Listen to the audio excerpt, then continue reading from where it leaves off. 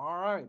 Well, Lydia, thank you again for, for joining. Um, I had the pleasure of, of listening to Lydia at uh, the national meeting of the Wildlife Society and was really uh, uh, intrigued and impressed by the program. So w- without uh, further to do, I'm just going to pass it on to Ty to uh, formally introduce Lydia and then we'll kick things off here. Okay, thanks, Raul, and uh, thanks for joining us, Lydia, and for all the people online and here in person. Uh, I also met Lydia uh, for the first time at, at the TWS conference in Washington. She had a great uh, plenary talk, and I consider her a new friend now. So I hope even after all this, all the technological difficulties we had today, that she still considers me a friend. Um, I'm just gonna, I'm just gonna let her take it from here so that we don't take up more time. Well, Nyala, for having me, thank you so much. And I'm so sorry about the technical issues. I told Ty I got the uh, the time zones wrong. For some reason, I thought that CST was just an hour behind Pacific time, and I'm, I'm out here actually in Oregon on uh, Chepenafa Kalapuya land. Um, and I uh, definitely did that math wrong, so I'm so sorry for showing up late here. Um, but again, Nyama for having me. Sego, Sego, Sego, Sego, Guego, Wakanu Radun, um, Lydia Young Cuts. My name is Lydia, and I'm from the Wolf Clan of the Kanien'kehá:ka, from the Lower Mohawk Band of Six Nations of the Grand River. Um, so just over the border up in Canada is where my family is from. Um, and I am the executive director of Hunters of Color. Um, I am really excited to be talking uh, to this seminar because of the importance, I think, of um, our relationship with the land as indigenous people and with the animals, um, with the indigenous indigenous uh, species that we have lived beside for so long. Um, as someone who hunts and as someone who leads a nonprofit that helps people of color get into hunting, um, I really pride myself in in respecting um, our mother, the earth, and respecting nature um, and also having that relationship where we take care of the earth and she takes care of us. Um, and I'll get into all of that a little bit more um, as I go throughout my speech. But I just was really honored um, by Ty and Texas A&M for inviting me um, and for considering that this uh, that hunting is an important part of traditional ecological knowledge. Um, so again, y'all for having me. Um, I'll talk a little bit more about Hunters of Color at the end, but before we go any further, I'd like to start out um, how I always start out most speeches or gatherings or um, anything like this. So, um, with a little bit of the Thanksgiving address, the Mohawk Thanksgiving address or Haudenosaunee Thanksgiving address. Um, and with that said, I'll be speaking in Kanien'kéha, which is our Mohawk language. Um, and if you will, Ty or uh, Roel or Sarah want to go to the next slide, um, I'll tell you when to change it to the third slide. Okay. De tino ora jonsne onko so a de tino ora jonsne yeki so honjwa de tino ora jonsne oneha so a tonya jo hakne gon la. Next slide. De tino ora jonsne gon jon so a de tino ora jonsne gahi so a de tino ora jonsne ohonde so a tonya jo hakne gon la. Next slide. De tino ora jonsne gayon tosela de tino ora jonsne gonderio de tino ora jonsne ogule so tonya. Next slide. Sun koji jun tonya. Um, I shared this also at the Wildlife Society where Roel and Ty were. And again, I share it at almost everything I can. Um, Mohawk Elder Tom Porter once I asked him, you know, should I should I share this if it, if it's not a, a entirely Haudenosaunee or Iroquois uh, gathering? And he said, anytime you have something good to share, share it. So um, I do like to start out with the opening address um, in any any gathering, but especially when we're talking about traditional ecological knowledge. Um, I think that the way that we approach the earth is really evident in this opening address. Um, again, back to just the second slide, we give thanks to the people, we give thanks to our mother, the earth. We're recognizing um, and greeting um, the earth, the waters, the fish, the fruits, the grass, the trees, the animals, the food, um, and our creator for all of those things. Um, and I think that this is just an evidence of traditional ecological knowledge in the importance of uh, Haudenosaunee culture and Mohawk culture, and um, from a traditional ecological knowledge standpoint, just that um, respect that we see. There's so many differences between every indigenous culture um, on this continent in South America, and one of the overarching familiarities and similarities that I always see is that respect for our mother, the earth, who takes care of us, and and we take care of her in return. Um, so before I go any further, um, again, Nyawa for having me. Um, and I'd like to start with just a couple stories, like I did at the Wildlife Society conference, that kind of show me the importance of the work that I'm doing at Hunters of Color, um, and that everyone in this field of traditional ecological knowledge is doing. Um, so this first story goes back to when I was a freshman in college. I was uh, at Oregon State University um, here in Corvallis, again on the Chepenafa band of the Kalapuya land.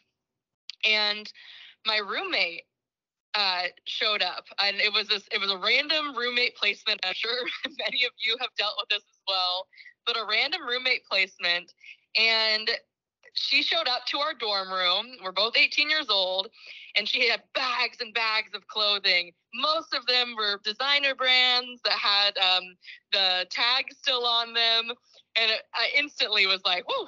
I don't understand this lifestyle at all, and this is going to be kind of a culture shock for me. And little did I know it was going to get even worse from there.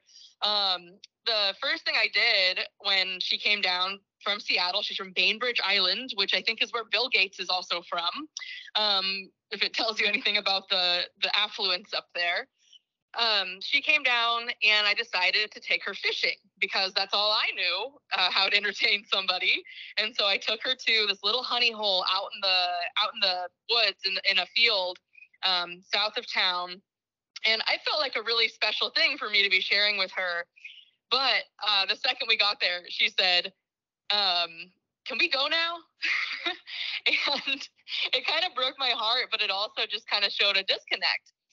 And the worst, that wasn't even the worst of all. On the way to this beautiful little honey hole uh, on the Long Tom River, a tributary of the Willamette River here in Oregon, um, we were driving i was driving she's in the passenger seat and she screams wait stop the car. And so i i panic i slam on my brakes and i say what what is it? And she says look and points a deer and so she had me slam on the brakes because she saw a deer and then she says i you know i've never seen a deer except for in a zoo and it it shocked me. I think I laughed at her. I still kind of do. But now looking back, it breaks my heart because of that disconnect, because this person who I, I mean, has lived such a different life than I have, really had that disconnect where, you know, she she'd never seen a deer in the wild. Um, and, you know, she eats meat um, and probably has never stopped to think where that meat comes from.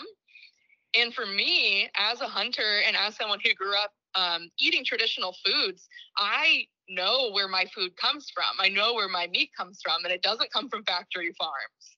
Um, it comes from that relationship that we have with with the land and with animals. Um, something that uh, my elders have taught me too is that we have an agreement with nature and with the animals. Um, and again, that that's you know, I'll take care of the land. We will create um, and and make sure that the habitats are there for the deer and the elk um, and for whatever animal other animals uh, we use for subsistence need to survive and thrive so that we in return can survive and thrive um, so anyways that's my first first little storytelling session uh, about my roommate in college and I'd like to juxtapose that to the opposite. Um, with my nonprofit, we do a lot of work with other uh, land protectors, water protectors, and storytellers. And one of the wonderful people that we were able to meet was Theresa Harlan. She's one of the elk protectors from the Felix Cove Alliance. Um, and she works with the Tule elk herds out there in the central coast of California. Um, the Tule elk were once, uh, they are endemic to the state of California, and they were once some 500 head strong, now, or 500,000 head strong, sorry. And now there's somewhere around 5,000 of them left, which is up from 38, 38 animals total um, after the onslaught of uh, Western civilization. I put in quotation marks. I wish you could see, but on, after the onslaught of um, colonialism, moving westward, westward expansion, um, and the taking of in, of indigenous lands, the Miwok and Pomo, especially along the, the coast there in Central California, um, the Tule elk were decimated as the land was um, ravaged as well. And I had the the precious pleasure of being able to meet Theresa Harlan, who is working to restore her relatives there. Um, Theresa is actually um, Pueblo, but she was adopted by um, a Coast Miwok woman and has dedicated her life to restoring the habitat of the Tule elk so that the Tule elk can come back in the abundance that they once were. So, anyways, I with with Hunters of Color um, and our program coordinator had the honor of going down to the Point Reyes National Seashore, where we met up with Theresa and her partner Tiger, and we were walking around looking for elk. It's this beautiful sunny day. Um, and if anyone is familiar with the central coast of California, it's a beautiful sunny day that's also extremely windy and cold. Um, and so we're walking around looking for elk, and all of a sudden I see this brilliant smile cross Theresa's face, and she just lights up like a candle and she waves this big full arm swing wave up in the air and yells, Hello, my relatives. And so I turned to see what she was seeing as this little skinny, emaciated, uh, scruffy looking cow elk crested over a rise, and then another, and then another, and a little fork was following them. And then um, a pregnant uh, female came over as well. And it was just so beautiful to watch this little family cresting over the rise and recognizing that that family, that connection that Theresa has to those animals is deeper even than that joy that I felt just seeing those creatures it's her family, it's her relatives. It's like seeing a long lost long lost cousin or a long lost grandma or grandpa that you haven't seen in a long time. That's the the the spirit that I could feel from Theresa. And even then, I have to recognize, you know, that that connection is so much deeper than what I can put into words and what I even felt in that moment from her. Um, and I just think about those two stories with these two ungulates that we ought to have connections with, we all ought to have connections with, and how much more powerful and how much more substance there was to Theresa's experience seeing these creatures and my roommate's experience with seeing a deer. Um, I often am, think about and and I tell people about the difference between someone who hunts as someone who uh, manages the land and someone who actually plays a role in the ecology versus someone who just um, maybe recreates or maybe enjoys the outdoors but but doesn't actually hunt or fish. And again there's so much beauty in the outdoors and there's so much to be said for bird watching or hiking uh, kayaking rock climbing whatever it is that you like to do but I truly do believe that the most human we can be, um, and especially for us Indigenous folks um, here in the Western Hemisphere, uh, the most alive we can be is when we are interacting with our relatives and when we are truly playing a role in the ecology, um, like Theresa and my family and so many that have gone before us.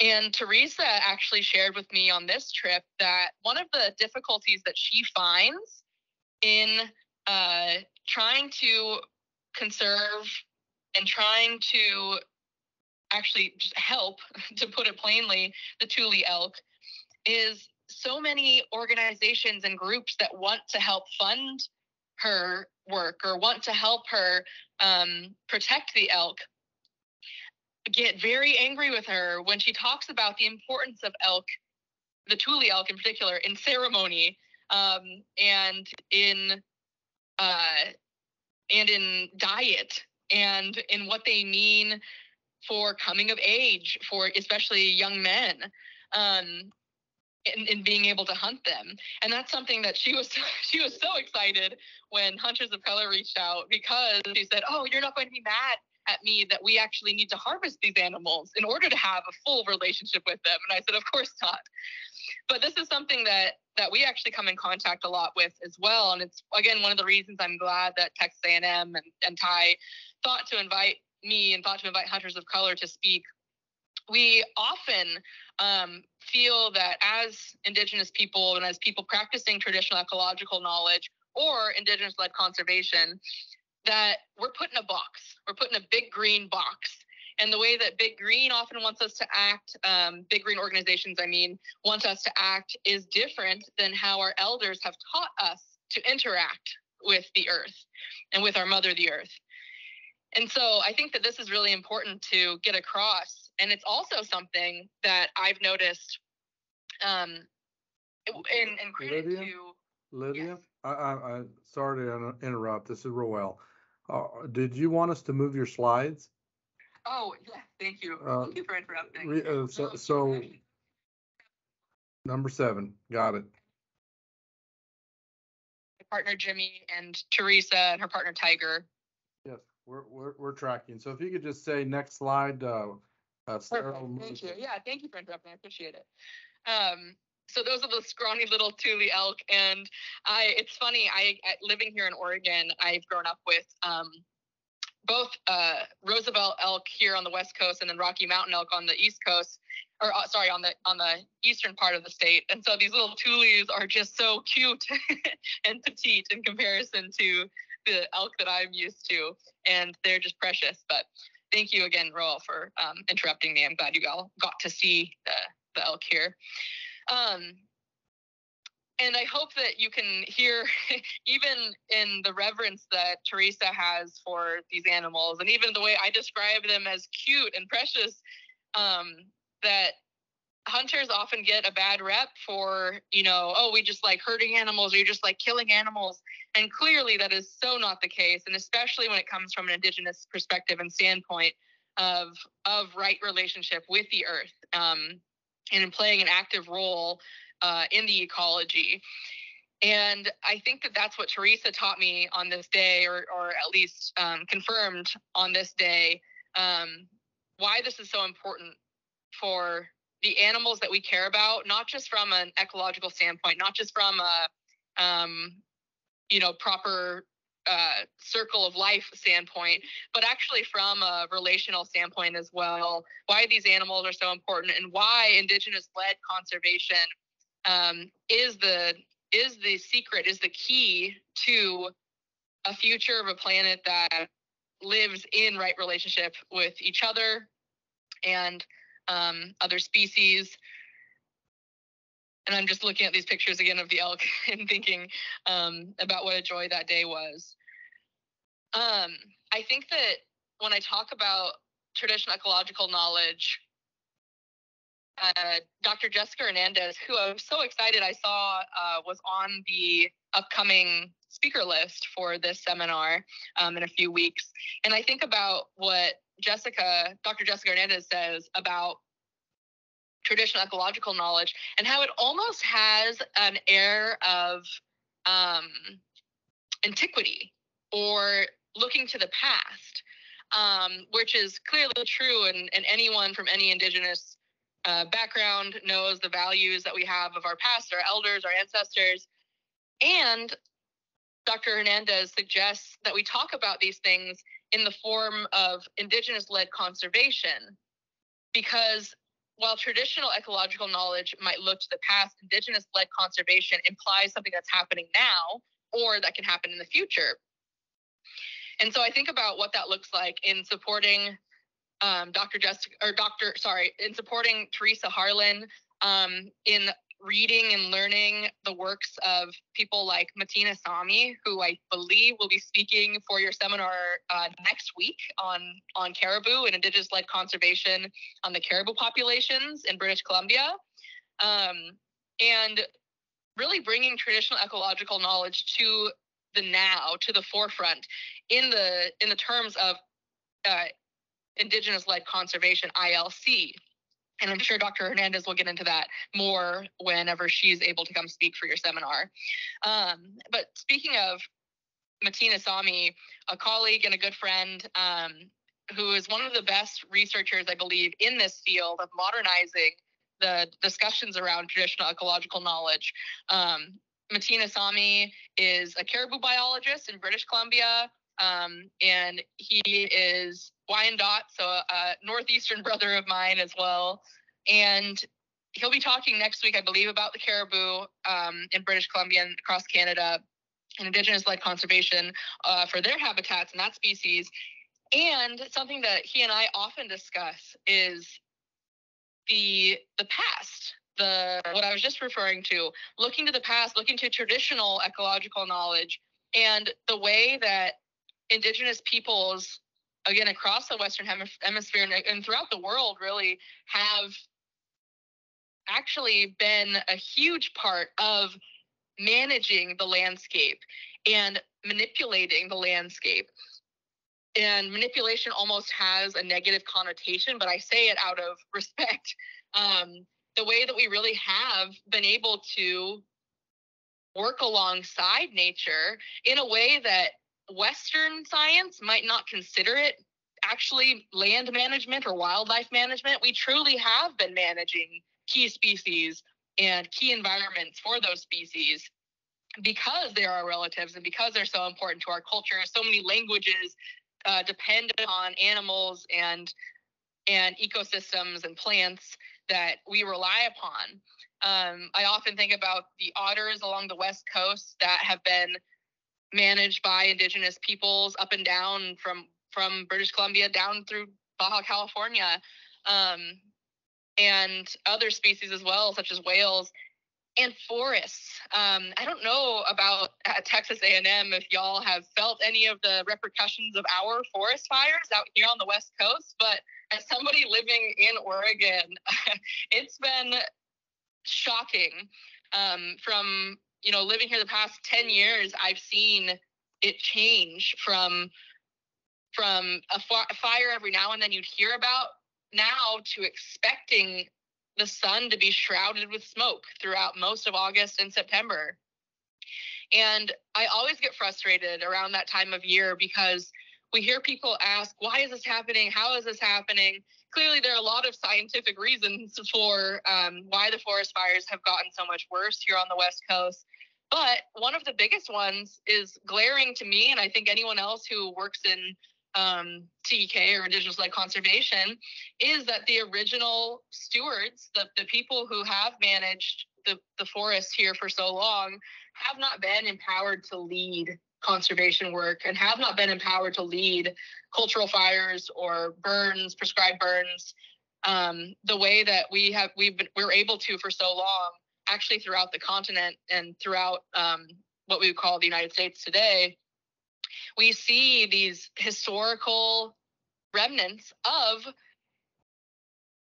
prescribed burns, of cultural fires, of every four years, the Kalapuya here in Oregon burning back um, the brush so that we don't have all the fuel to actually uh, make the forest fires worse so that we're creating the oak savanna habitats that the that the elk, that the grouse, that the deer, you name it, need to survive. Um, and that the forest actually needs to thrive as well. And this is something that I, I think about on a pretty regular basis, especially towards the end of fall every year or towards the end of summer every year here on the West Coast. Um, how often indigenous led conservation is kind of brushed aside as um, mythical or as uh, something from the past, or it isn't um, it isn't held in the same regard as Western science in so many ways by so many people. And how frustrating it is to me to see these forest fires and then to hear people who study uh, Western Western science, like dendrochronology, for example, looking at the tree rings and and seeing, oh yeah, these forest fires have been pretty intentional, have been set every four years or so, um, you know, throughout the nation, depending on what the forest needed. It's it's almost as though they won't accept the the knowledge and the actual fact of the scientific method going into all of this work, all of these, you know, learning how to manage the forest well through thousands and thousands of years since time immemorial, they won't accept that knowledge unless it has a Western uh, Western science stamp of approval, like a degree or a fancy word like dendrochronology, studying tree rings. Um, but I say all of that. To, I'll get off my soapbox, but I say all of that just to to say how we look at the past and and and I believe by looking at the past we have the key to the future uh, of a healthy planet by reinvigorating these traditional methods. Um, and I believe that what that looks like is funding. I believe it looks like support for Indigenous led uh, organizations and groups. Um, and I believe it looks like some of that power shift being given back to the people who, as Oneida comedian Charlie Hill would say, have the owner's manual for this land. Um, I'll shift a little bit now just to talk about hunters of color. And so if you go to the next slide, I don't know if you have or not yet, uh, Sarah and Roel. Yep, Um, got it. Great. Um, that's me in the middle there with some of our mentees. Uh, and clearly a mentor there on the right. Um, we at Hunters of Color run a mentorship program. Uh, we're active in 12 states, and our mentorship program brings people who are interested in hunting, uh, fishing, and conservation into the outdoors, into community in the outdoors. Um, and so we create these communities. Like I said, we're active in 12 states. We don't call them chapters, they're communities. Um, we actually just got started in Texas, I believe in Lubbock, um, with our first Texas community. I know it's a big state, but if anyone's interested, we can definitely get you more information on that. Um, but we provide mentorship and we provide um, what we call a three-tiered model of mentorship where people can come in as beginners say you've never uh, really spent much time outdoors and we'll teach you how to camp. We'll teach you how to how to layer for cold nights out there in the desert that get hot during the day. Um, we'll teach you how to track and how to call um, and we'll treat, teach you the basics. Then we can shift uh, to the next level which will actually get you hands-on experience um, with archery equipment um, with fishing gear. And then the third tier is actually going on um, hunts. And we talk about the, the importance of conservation um, as part of hunting uh, and as part of, or the importance of hunting as conservation um, from a TEK lens. And even beyond that, hunting contributes about $1.6 billion a year to conservation through taxes um, and sales of uh, hunting shooting equipment. Um, and and according to statistics from the U.S. Fish and Wildlife Service, 97% of hunters identify as white, which doesn't surprise a lot of people when I when I say that. Um, I often start my conversations when I'm doing an elevator speech with, "Okay, picture a hunter." Now, did you picture me? and people usually laugh and say, "Oh no, I pictured my uncle, you know, my uncle Bill in his flannel, and uh, he kind of looks like Elmer Fudd, you know." But the truth of the matter is that all of us come from hunters. None of us would be alive right now if our families at some point weren't hunters. And they had to be pretty damn good hunters too, or else we wouldn't be here. Their genetics would not have been passed on. And I think, especially for Indigenous peoples, that connection with the land is so important. Um, this past year in 2022, we launched our Indigenous outreach outreach outreach program um, as an indigenous led organization it's something that's really um, heavy on my heart and then also our um, indigenous outreach coordinator is uh, Yaqui and modoc and he is starting what he's he's called it a reservation tour so if anyone's interested in getting uh, josh out to um, your reservation, let us know. But he uh, right now is doing archery classes for youth and adults. Um, here in Oregon. I think the Klamath Reservation is next on the list. Um, but he's doing archery uh, intros and classes. He's a certified archery instructor. And for adults, he's teaching um, traditional Modoc bow making. Um, so that's always really important and, and kind of precious way to, to show that connection to the land. Um, so that's a little bit about Hunters of Color, and I think I'll leave you now um, with one more story, if it's okay, um, just to kind of emphasize the importance of of hunting um, in my heart and, and in my my experience. Um, my partner and I uh, both hunt, and he is um, Afro Indigenous from Venezuela and also Filipino on his dad's side. Um, and so you can go ahead, uh, Roel or Sarah, switch to the next slide, and I'll tell you a little bit about this elk. So this is my partner, Jimmy, um, also our program coordinator here for Hunters of Color. And this um, elk was a gift that allowed Jimmy and I to now eat what we call huntertarian. We do not have to eat a single piece of meat from a fat animal. Um, and I'll tell you just uh, in brief, and I have 10 minutes left about this elk. So it was, oh gosh, two summers ago now, or two falls ago now, we were uh, camping out on the Oregon coast. And if anyone has camped or hiked or hunted the Oregon coast, you know the density. You can see it there um, in that overgrown forest where the Kalapuya should be empowered to manage, but have not been. Um, but the overgrown forest there, the density of it, we were out there for a few days without any success. Um, and on the last day uh, of the hunt, the night before, I had a dream that I was standing on a cliff's edge and all of these bull elk were tumbling down this cliff and falling down this cliff. And it was beautiful and tragic and really stuck with me. So the next morning, I woke up at first light with Jimmy and his um, hunting partner, Reese, who's Choctaw. And they were about to go out uh, for the last day. I was going to stay in bed and sleep. Um, and but I, before they left, I said, "Hey, this is going to sound crazy, but I had a dream, and you should look for a cliff.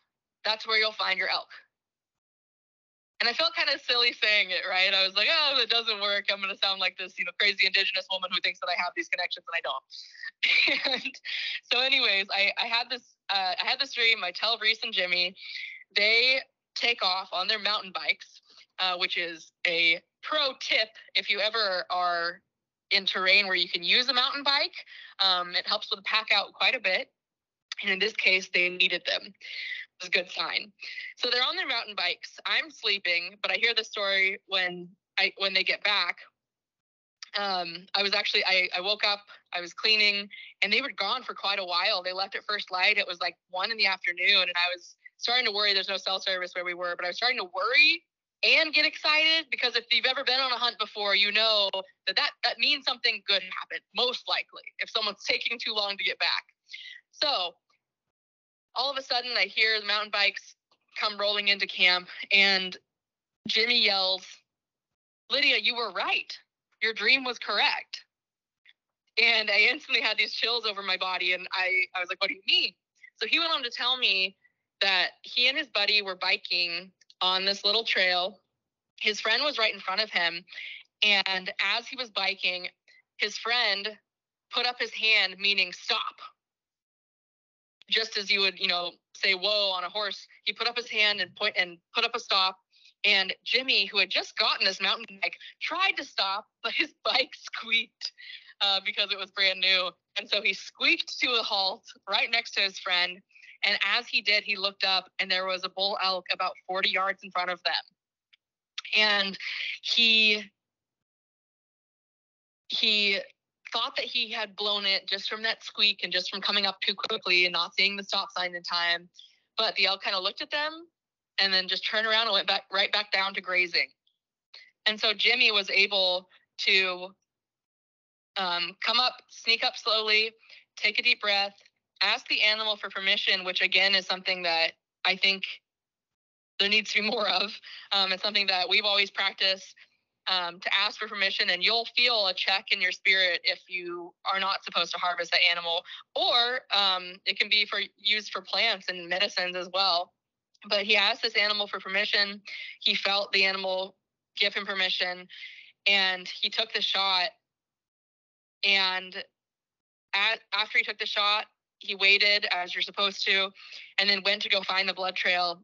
And when he found it, you can see from this photo that he was laying on the edge of this cliff.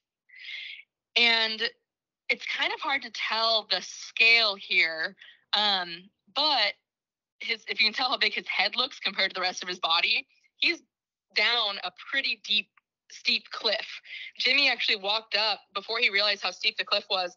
He actually walked up and placed his hand on on the elk's head and thanked him for his sacrifice and for his food, for his um, sustenance that will then provide him and his family with sustenance.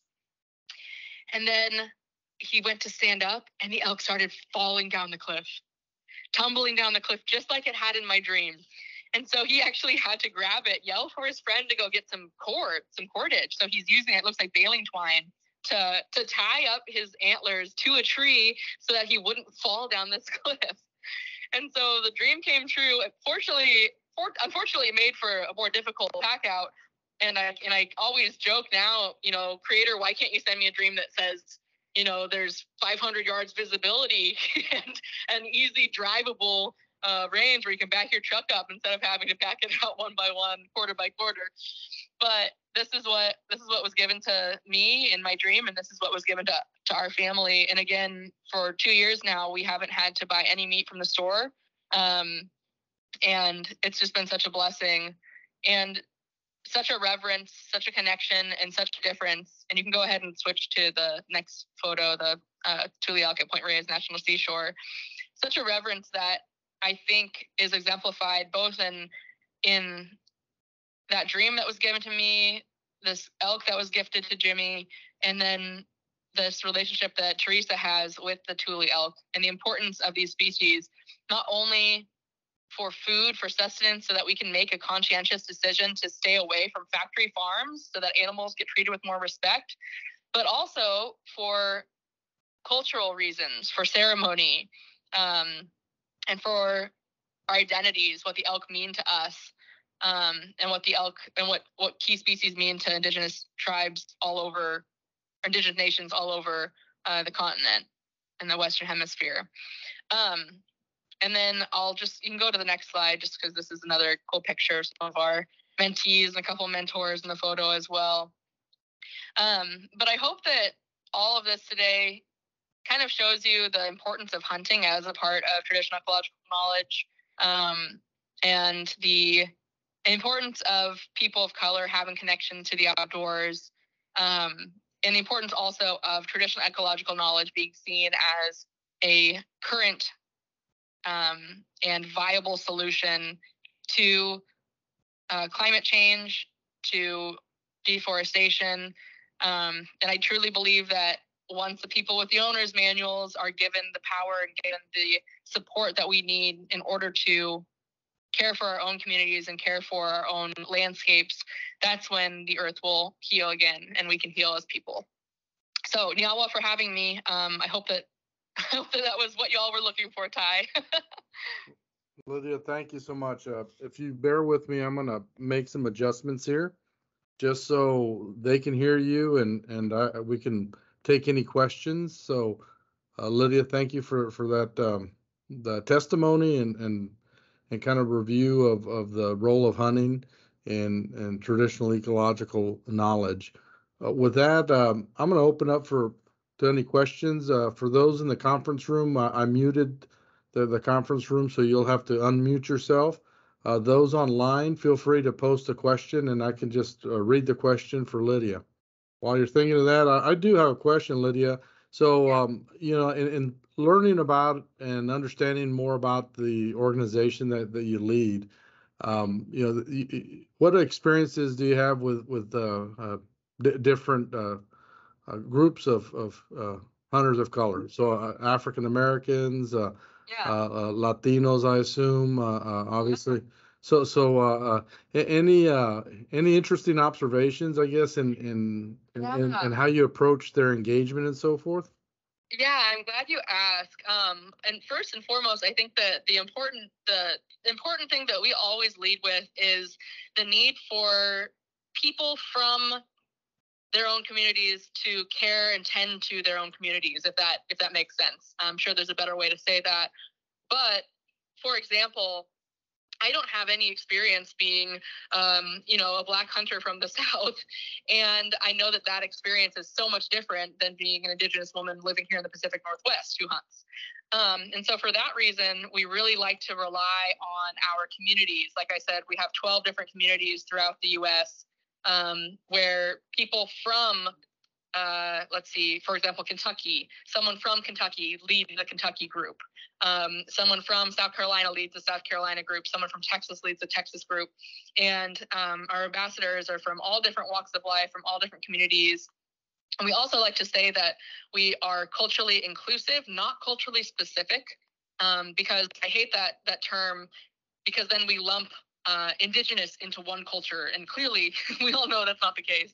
Or we lump even black into one culture, and clearly that's not the case. Um, there's different experiences all throughout the United States. Um, and I think that one of the other observations and also um, data points that's interesting to me is that when they looked at hunters throughout the United States, um, they're they're looking at licenses, so licensed hunters throughout the United States, and that means that indigenous people who are hunting uh, on reservation with permission from tribal council or, or whatever um, that aren't in the reserv- that aren't in the license system aren't necessarily being counted. Uh, which might be sometimes when I talk to indigenous folks, people are like, "Well, we actually everyone hunts in my family," um, which is good, and that's the goal, right? for everyone to have that connection. But for urban natives or for a lot of youth um, or people who whose parents didn't teach them these skills, it's something that allows us to connect to our identity. Um, but from from a, a ethnicity standpoint, they looked at they looked at the numbers and they found that 97% of hunters identify as white, uh, people with licenses, and then that other whatever 3.7% that was left, um, or whatever 2.7% that was left, um, 2% were in the South and they identified as African American or Black, and then that, that leftover remaining percentage was um, Latino hunters in the Midwest, and they, um, you know, again come from a long line of tradition traditions in hunting there, as do Black hunters in the South. And then throughout the rest of the country, people of color did not show up. We were what, what we what you call statistically statistically insignificant in the findings um, because there were so few communities of color hunting. So it is something where you know you see a lot of black hunters in the south. You'll see a lot of latinx hunters in the midwest. Um, and it's something where i found even uh, you know my partner jimmy's family is from venezuela. They all hunted in venezuela the second they moved to the united states. There's a lot of regulations in a different language and it's kind of hard to continue that tradition. Um, it's also something where we see you know jimmy's best friend uh, raul is from from mexico and they grew up hunting in mexico but then when they moved to the US, he said, you know, we don't do that here. That's not something that we do. Um, and it's almost like putting people into a box saying, you know, that's a white person thing to do. Um, and it's hard to, to see that disconnect happen to our communities where hunting has been such an important part of all of our cultures. Thank Hopefully you. that answered your question. It it does, Lydia, thank you. And, and, uh, I think they unmuted themselves at the conference room, so, um, if there's a question there, uh, online, uh, feel free to ask.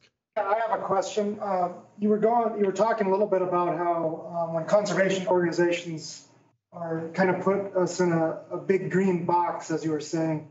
Um, Does giving them a more indigenous perspective on hunting allow them to, uh, to kind of change their attitudes towards uh, what conservation really means? Yes, I think that that is an important question. It's something that I don't believe I mentioned, but we've even found, I've even found in, in my personal life or in our conversations with the Nature Conservancy or different uh, land trust organizations throughout the US, that they'll often say no to hunting, but then they'll have clauses in their um, in their easements or or MOUs that say this land is open to indigenous communities for all ceremonial and foraging purposes. And then i'll kind of point to that and say okay well part of part of that has always been and needs to continue to be this relationship with animals that we have as well. Um, and actually we've seen some really positive uh, changes. We've seen i've even had uh, people who say you know what? I'm vegetarian or you know what? I'm vegan. And i understand your need your your for your culture for your identity for you to continue to be an indigenous person to be able to forage and hunt and practice ceremony on on these lands. So yes i do believe that there is something to it. Um, and i think that if people aren't fond of hunting or if they're not if they don't understand you know how factory farming is actually much worse for the planet and worse for the animals um, they they often will have some sort of reverence for the first peoples of this land. Um, whether or not that's actually turned into support and funding is another story, but I do believe it, it's important. It's an important talking point. Thank you, Lydia. Okay, I, I have a question on the chat. So it says, uh, thanks for introducing us to Hunters of Color. I understand the importance of finding folks in their community to be ambassadors for Hunters of Color. Do you have recommendations for folks who are not part of a, a BIPOC community to get involved? Thanks. Yeah, absolutely. Thank you so much for that question. So um, we actually have mentors and who are uh, not BIPOC, and so that's something we our ambassadors all um, we require that they are BIPOC or identify as people of color um, because of that shared experience, hopefully with their communities as well. And our mentors we'd be silly if we didn't allow people with with skills um, hunting foraging whatever uh, other survival skills you might have to get involved in our communities.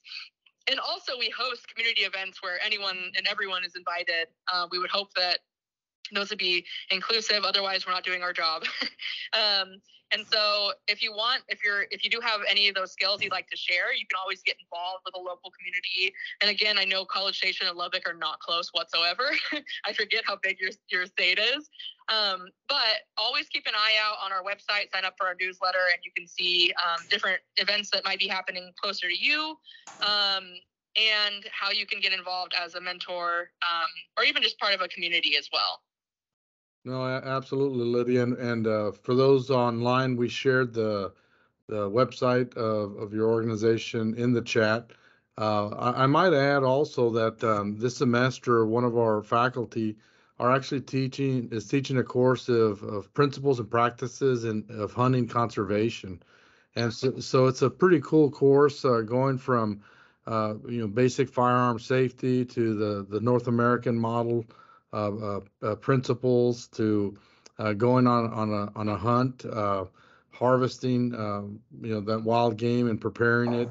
And so really all aspects of, of just the, the role of hunting and, and conservation, hence the, the name of the course. So some of our some of our folks online are are um, uh, are in, in that course, but but uh, I think uh, the the you piqued their interest when you you talked about a community in, in Lubbock. I think there may be a, a strong interest in having a community in Aggie land. So, so we, we, we appreciate that. Well, Lydia, first, uh, appreciate your time and, and appreciate you working uh, through the technology uh, challenges. But, uh, but again, uh, uh, great work and, and whatever we can do to assist from Texas, let us know. I'm, I'm seeing there's a, a call for an Aggie chapter of Hunters of Color. So, uh, so again, appreciate that. And, and those online, thank you for, uh, your patience. And with that, uh, we'll, we'll say goodbye to Lydia and, and wish her, uh, a good rest of the day. You take care, everyone. Mm-hmm.